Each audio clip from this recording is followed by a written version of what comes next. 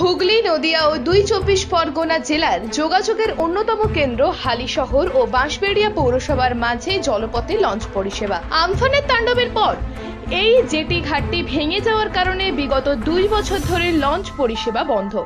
ফলে সমস্যায় পড়তে হচ্ছে বহু মানুষকে।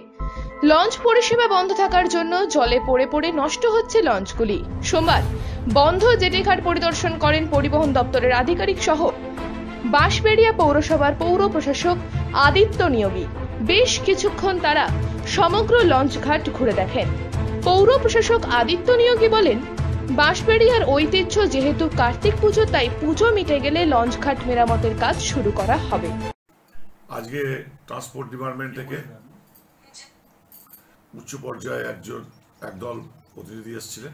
আপনারা জানেন ডানলা ফালিশহর ফেরিঘাটটা দু হাজার কুড়ির বিশে মে যে আমফান ঝড় হয়েছিল, তার পর থেকেই বন্ধ। খুব দুঃখ লাগে বিগত বোর্ড কোনো এই বিষয়ে আলোকপাত করেনি পশ্চিমবঙ্গ সরকারকে। আমি আমি চেয়ারম্যান হওয়ার পর বোর্ড মিটিং এর সিদ্ধান্ত মতো আমি ট্রান্সপোর্ট ডিপার্টমেন্টকে আবেদন জানাই যে ঘাটটা যাতে চালু করা যায়। সেই মতো বিশ্ব ব্যাংকের আর্থিক আনুকূল্যে এই ট্রান্সপোর্ট ডিপার্টমেন্ট প্রায় দেড় কোটি টাকা খরচ করে যে পল্টন জেরিটা করবে তার আজকে চূড়ান্ত পর্যায়ে দেখে গেলেন।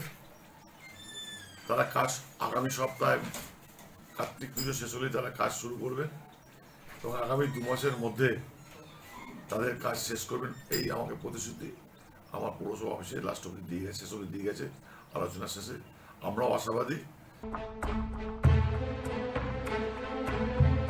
হুগলি থেকে রাজেশ দেবনাথের রিপোর্ট, টিভি নিউজ টেন।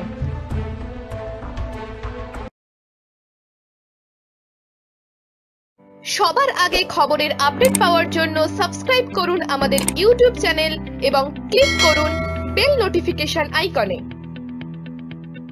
এবার ফোর্টিসের বিশিষ্ট অস্থি বিশেষজ্ঞ ডাক্তার দেবাশিস চক্রবর্তী মাসে দুদিন রোগী দেখবেন দুর্গাপুরে। ষোলোই নভেম্বর সোমবার city centre healer health care solution প্রোভাইডারে সরাসরি ডাক্তারবাবুর সাক্ষাৎ পেতে অবিলম্বে যোগাযোগ করুন।